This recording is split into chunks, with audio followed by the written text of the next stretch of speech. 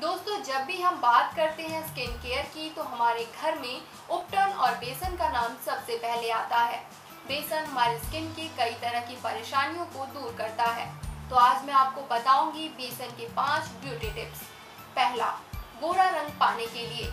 इसके लिए आपको चाहिए एक चम्मच बेसन, आधा चम्मच बादाम पाउडर, आधा चम्मच दूध और आधा चम्मच नींबू का रस। इसे मिलाकर इसका पेस्ट बना लीजिए।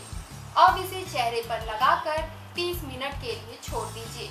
30 मिनट के बाद चेहरा सादे पानी से धो लीजिए। ऐसा सप्ताह में दो बार करते रहने से चेहरा साफ़ होकर निखरने लगता है। दूसरा, गर्दन, हाथ और पैरों के कालेपन के लिए। इसके लिए आप सबसे पहले तीन चम्मच बेसन लीजिए।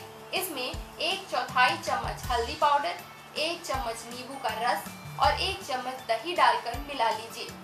अब इसे चेहरे, गर्दन और हाथ पर इसे लगा लीजिए। आधा घंटा इसे लगा रहने दीजिए, उसके बाद इसे धो लीजिए। इसे सप्ताह में कम से कम तीन बार करें, आपको इसका फ़ायदा दिखने लगेगा। तीसरे टिप, ड्राई स्किन में निखार लाने के लिए।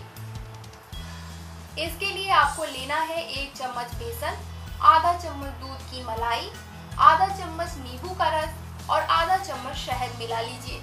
अब इस मास्क को अपने चेहरे पर लगाकर 20 मिनट के लिए छोड़ दीजिए और फिर पानी से धो लीजिए।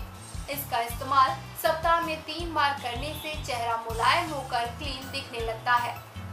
चौथी टिप है ऑयली स्किन के लिए। एक चम्मच बेसन लीजिए, उसमें आधा चम्मच चंदन पाउडर, आधा चम्मच दही, एक चुटकी हल्दी और एक चम्मच नींबू का रस मिलाकर इसका मिश्रण बना लीजिए। अब इस मास्क को चेहरे पर लगाकर छोड़ दीजिए और 25 मिनट के बाद गुनगुने पानी से चेहरा धो लीजिए। इसे सप्ताह में एक बार करते रहने से यह स्किन टोन को लाइट करता है और साथ ही साथ सन टैन को रिमूव करता है।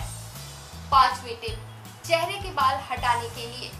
इसके लिए एक चम्मच बेसन लीजिए।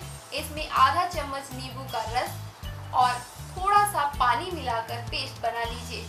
अब इस पेस्ट को चेहरे पर लगाकर छोड़ दीजिए और लगभग 15 मिनट तक अच्छी तरह सूखने दीजिए। इसके बाद पेस्ट को ऊपर की तरफ़ रगड़कर उतार लीजिए और चेहरा धो लीजिए।